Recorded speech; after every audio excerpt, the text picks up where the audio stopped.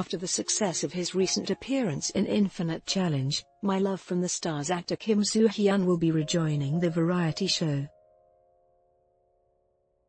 This time however, it will not be to compete but to receive his prize. According to All K-pop, Kim Soo-hyun's last appearance in Infinite Challenge resulted in Kim Soo-hyun defeating the cast members in an intense bowling match showcasing the star's athletic abilities. The episode which topped viewership ratings at 10.9%, ended with the actor winning a prize from the show.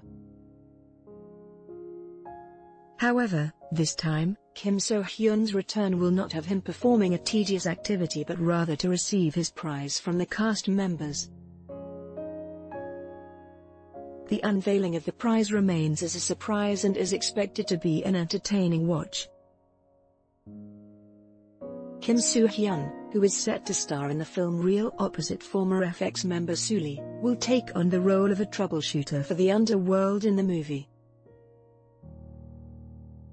He admitted that preparing for the role was a challenge in itself because it entailed a lot of physical activity. In an earlier interview with Soompi, he shared that he had to learn boxing in order to meet the demands of the action scenes in the intense thriller film. He said that he had to mentally and physically prepare to play such a strong and dark character on screen. I kept thinking of the script after I had read it, Kim Soo-hyun said. I'm nervous about taking on a new challenge but I'm also pretty excited.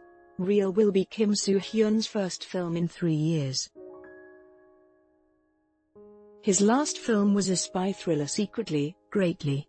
After the movie, the actor is said to be considering a role in the drama Coffee to Go opposite Park Shin-hye before he enlists in the military. Copyright Copyright 2017 kpopstarz.com. All rights reserved.